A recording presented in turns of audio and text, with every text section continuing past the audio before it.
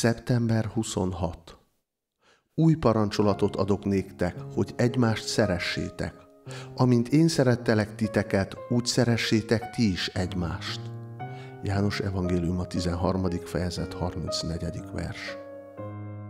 Az emberek közül senkinek sincs olyan érzékenysége, olyan nemes természete, mint az üdvözítőnek. Mi türelemmel viseltetik irántunk. Évről évre hordozza gyengeségünket és tudatlanságunkat, hálátlanságunkat, tévegésünket, a Szentírás olvasásának elhanyagolását. Mégis a kezét nyújtja felénk. Így kér bennünket, szeressétek egymást, amint én szerettelek titeket. János Evangélium a 13. fejezet 34. vers. Az angyalok hódolattal és csodálattal szemlélik Krisztus földi misszióját.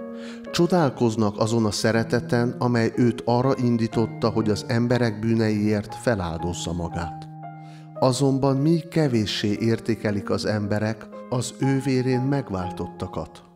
Nem szükséges, hogy elkezdjük megpróbálni egymást szeretni. Mi Krisztus szeretetére vagyunk rászorulva a szívünkben – ha énünk Krisztusban felolvad, akkor az igazi szeretet önkéntelenül is előtör majd. A Mester üzenetét a Mester lelkületével kell hirdetni. Csak akkor vagyunk biztonságban, ha gondolataink és ösztöneink a nagy tanító uralma alatt állnak. Isten angyalai minden hűséges munkást gazdag tapasztalatban részesítenek majd ezen a téren.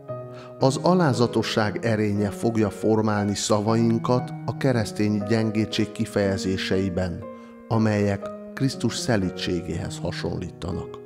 Ellen G. White az Evangélium szolgái, testvéri kapcsolatok című fejezetből.